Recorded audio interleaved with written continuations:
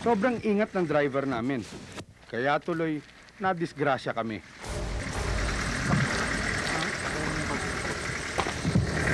Pinarang kami ng mga ito, armado at mainit ang ulo. Pinakyat sa burol ang van namin, tinutukan kami ng baril, pinababa ng sasakyan at pinalakad palayo. Yari, totodasin na yata kami. Si Val Cuenca, veteranong cameraman namin, nagawa pang mag-roll ng camera. Journalist.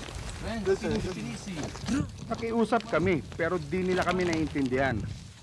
Unang pinagdiskitahan ang mga gamit namin. Tapos, ang pera at iba pang laman ng bulsa namin.